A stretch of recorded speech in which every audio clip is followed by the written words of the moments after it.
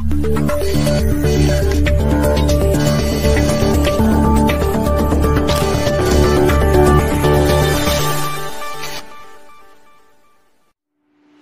दोस्तों, एक बार फिर से स्वागत है आप सबका न्यूज़ 47 में और मैं हूँ आपके साथ मुस्कान। मिलादुल नबी के बारे में आप सबको बताने वाली हूँ कि ये त्यौहार कब, क्यों और कैसे मनाया जाता है। तो आइए जानते हैं। मिलादुल नबी इस्लाम धर्म के मानने वालों के कई वर्ग में एक प्रमुख त्यौहार है। इस शब्द का मूल मौलिद है, जिसका अर्थ अरबी में जन्म है। अरबी भाषा में मौलिद नबी का मतलब है हज़रत मोहम्मद साहब का जन्मदिन। ये त्योहार 12 रबी उल अव्वल को मनाया जाता है। मिलादुल नबी संसार का सबसे बड़ा जश्न माना जाता है। इस्लामिक मान्यताओं के अनुसार इस्लाम के तीसरे महीने यानी रबी अव्वल की बारहवीं तारीख पाँच सौ इकहत्तर ईस्वी में पैगंबर साहब का जन्म हुआ था। रबी अव्वल के बारहवें दिन ही मोहम्मद साहब का इंतकाल भी हुआ था। इस्लामिक कैलेंडर के अनुसार भारत में रबी अव्वल का महीना 19 अक्टूबर से शुरू हो चुका है।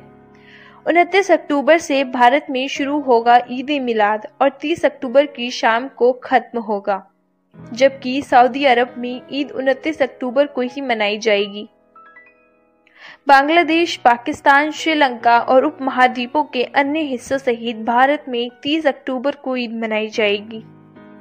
इस्लाम धर्म को मानने वाले लोग मोहम्मद साहब के प्रति बहुत आदर, सम्मान और श्रद्धा के भाव रखते हैं। मान्यता है कि मोहम्मद पैगंबर को खुद अल्लाह ने फरिश्तों के माध्यम से कुरान का संदेश दिया था। हज़रत मोहम्मद साहब का मानना था कि अगर कोई गलत तरीके से कैद किया गया है तो उसे मुक्त कराओ। निर्दोष को सजा मत दो। उनका कहना था कि भूख, गरीब और संकट से जूझ रहे व्यक्ति की मदद करो।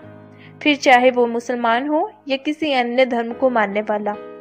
पैगंबर इंसान को इंसानियत और नेकी की शिक्षा देते हैं।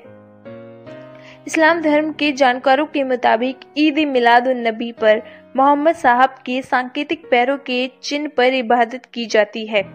इस्लाम धर्म के लोग इस पर्व को मनाने के लिए रात भर जागते हैं और दुआ मांगते हैं। इसके साथ पैगंबर मोहम्मद साहब के उपदेशों को पढ़ा भी जाता है और उन्हें याद किया जाता है।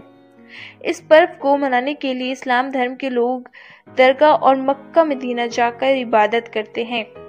इतना ही नहीं, ईद मिलादुल नबी को दावत का आयोजन भी किया जाता है। इसके साथ ही मोहम्मद साहब की यादों में जुलूस भी निकालते हैं। हालाँकि इस साल कोरोना महामारी के कारण बड़े जुलूसों या समारोह का आयोजन नहीं होगा। आज के लिए फ़िलहाल इतना ही। आगे के अपडेट्स जानने के लिए हमारे साथ बने रहिए और देखते रहिए न्यूज़ 47